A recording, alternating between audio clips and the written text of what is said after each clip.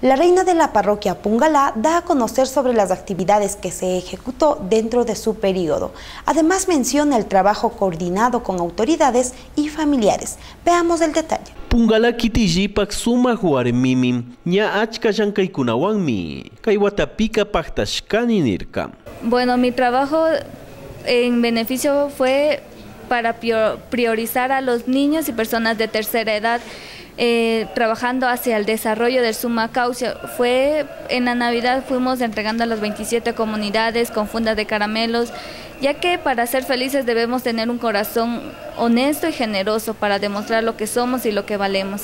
También hicimos eh, para el Día de la Madre demostrar que es el ser más sublime de la tierra, dándole un, algún detalle. Yupay chanimi, ñuka yukunata, paikunami kay llankaypika, yanaparkakuna nirkami.